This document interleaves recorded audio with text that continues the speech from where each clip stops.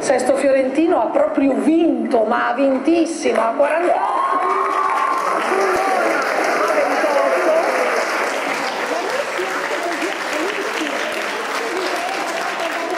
Ringraziamo tutti per essere qui con noi oggi, è un modo per aver, noi cerchiamo di fare tutti insieme il nostro meglio per portare alto il nome della, della nostra città, della città che ci ospita. E ringraziamo il sindaco perché ci ha ospitato anche oggi come sempre. Qui per cui un applauso al sindaco.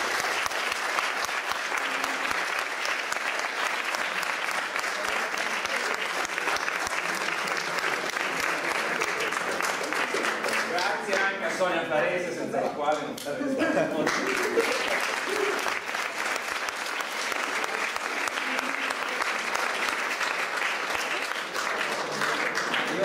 Noi cerchiamo di portare avanti nome della città, no? Eh, sì, i risultati ci sono. Ecco, vero? Grazie a tutti voi, bravi.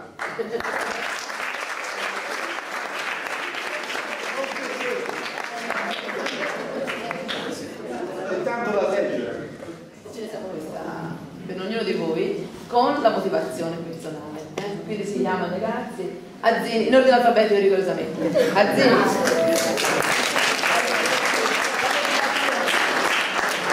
Ha dimostrato tenacia ed entusiasmo nell'imparare le proprie pagine, infarcite di migliaia di insidiose citazioni fra le quali è riuscito a orientarsi alla perfezione e per essersi trattenuta con notevole autocontrollo da limitare Dolfles nelle sue telefonate.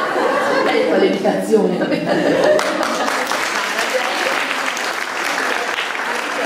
la Gaia Baldini che non c'è, eh? Allora glielo consegniamo. Sì, sì, sì. Bene. Eh. Allora, Gloria Bernacchi. Per aver catalogato con certosina pazienza, posso testimoniare, decine di scaffali della libreria Rinascita, archiviandoli diligentemente nel suo prezioso iPhone e diventando essa stessa un database vivente, da fare invidia alla CIA, nell'assoluta evidenza che tecnologia e cultura letteraria sono ormai un binomio, un binomio indissolubile.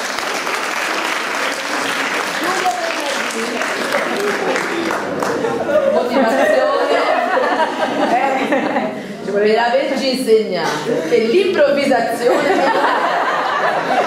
e che se ben coltivata può toglierci l'impaccio nelle situazioni più imprevedibili permettendo di rilasciare interviste nella più assoluta disinvoltura e opacità catturando gli spettatori fino a far nascere in loro l'irrefrenabile desiderio di leggere quel libro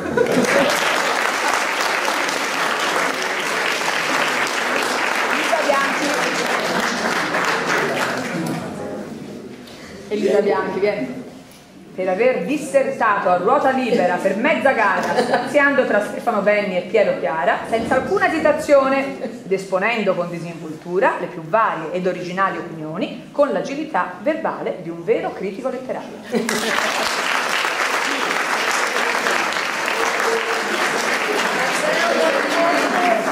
Matteo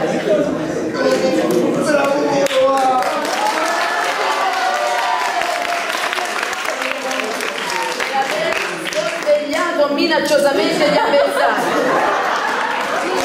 intercettandone le mosse e neutralizzandone gli insulti, grinta e una determinazione mai mostrate finora, a cui potrà d'ora in poi ricorrere per affrontare nuove inimmaginabili avventure.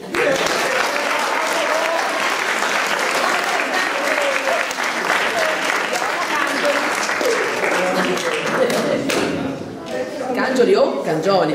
Per avere, come al solito, dimostrato imperturbabile sangue freddo quando all'ingresso degli studi RAI per la milionesima volta le hanno sbagliato l'accento nel cognome e per le sue evidenti capacità manageriali dimostrate nella rapida realizzazione di un magnifico cartellone celebrativo della nostra etica impresa.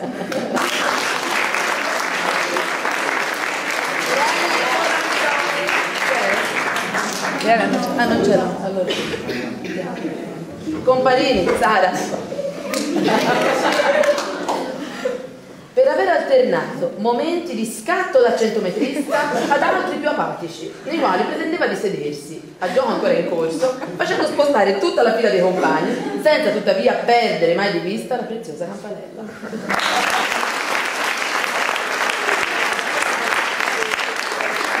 Gloria De Marino per aver assimilato in modo egregio la propria metà del libro, sviscerandone i contenuti fino ad andare oltre alle più inconsapevoli e inconfessabili intenzioni mai nemmeno lontanamente immaginate dall'autore.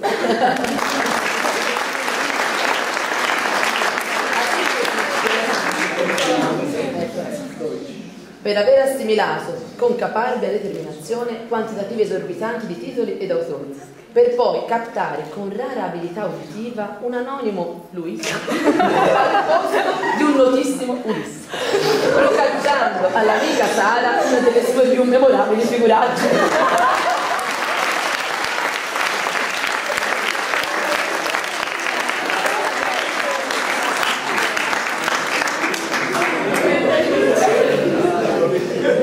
Aver assimilato ogni singola parola del suo mezzo libro, districandosi con imperturbabile grazia tra originali tecniche di suicidio e diabolici piani omicidi, senza mai perdere la sua calma olimpica.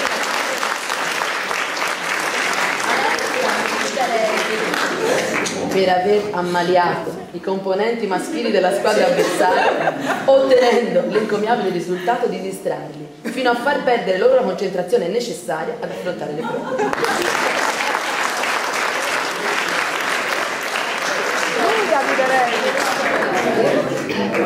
Per essere riuscita a conseguire l'obiettivo da lei desiderato di non essere intervistata, dimenticando il titolo del proprio libro così bene da evitare di farlo notare all'implacabile professoressa Pivetti.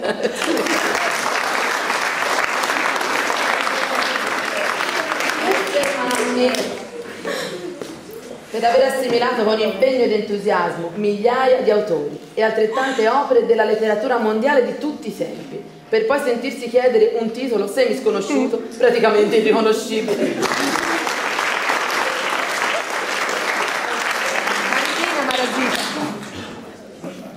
per aver partecipato, benché inizialmente riluttante, ed essersi divertita al punto da voler sfoggiare un make-up insolito per lei, ma molto telegenico.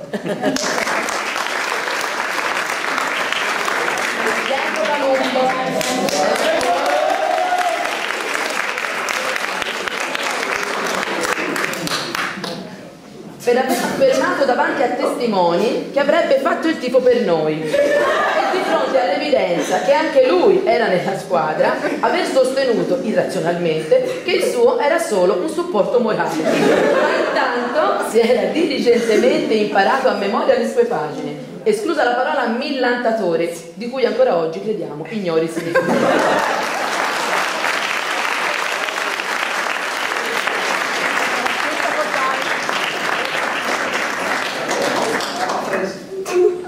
significato male è capitato a me per avere d'un colpo abbandonato ogni rimpianto di non aver frequentato il liceo classico.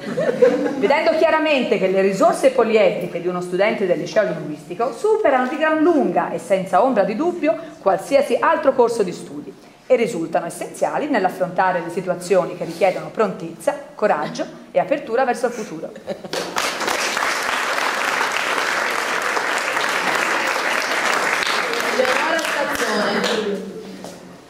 Per aver scandagliato con accurata solerzia gli scaffali della libreria di nascita, alla ricerca dei testi più improbabili, e per essersi addentrata con indomito coraggio nei misteri delle ultime estenuanti pagine del romanzo di Chiara, pur avendo nettamente preferito le pareti a specchio nella sala prove della RAI.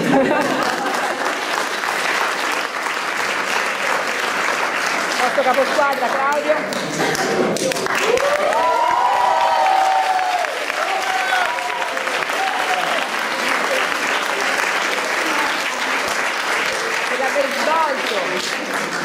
Per aver svolto con eleganza e stile l'impegnativo ruolo di caposquadra, memorizzando fino al più insulso vocabolo il romanzo di Chiara e per aver illustrato con creatività e arditi tocchi personali le prodezze della propria classe, fino a trasformare con rara abilità perfino le librerie in biblioteche.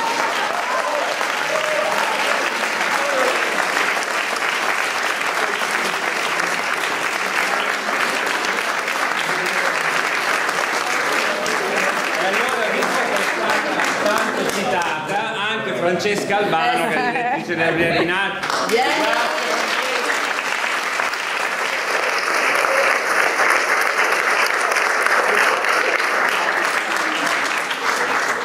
L'ultima persona da ringraziare è quel signore laggiù, Marco.